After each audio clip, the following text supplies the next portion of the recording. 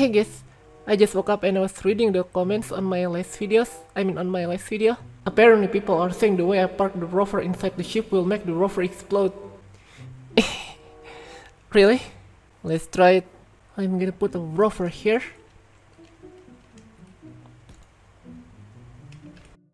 Alright, here it goes. Hmm. Uh, uh, doesn't seem exploded to me.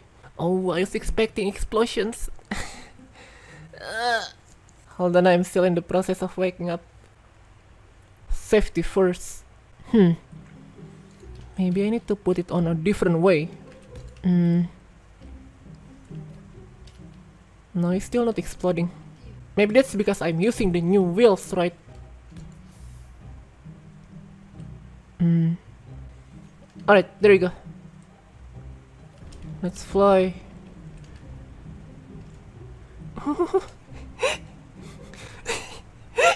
and that doesn't seem safe. Alright, I turn on thrust override so the ship is moving by itself now. Hmm. Hmm, let's get inside. And this doesn't feel that dangerous actually. Yeah, but I, I can see what people are saying about the safety issue or the safety risk of doing this. Hmm, that's interesting though. It seems the new wheel, oh never mind, the new wheel also has the same issue, but it's not really as pronounced as the bigger. Whoa. Do you see how the new wheels are a lot more stable?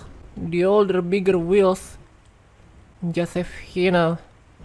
Alright, let's fill in this APC with people. And good luck, engineers. You guys ready? Here goes.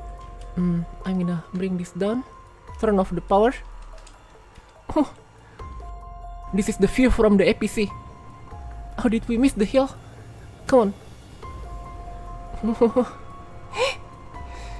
oh, I think the ship hit something. Oh. Oh. Wait a second. How did the... How did the... Wait, what? Oh.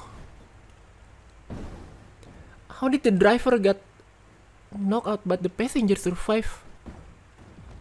Hmm. I guess the front of the APC hits part of the ship. Oof. well, I guess the front of the APC hits part of the ship here. Hmm. Is there any survivor?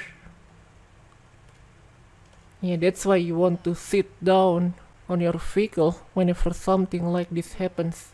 Hmm. The ship itself doesn't seem to be in a very bad shape though. I'm pretty sure this can still fly actually. Oh, yeah, there we go.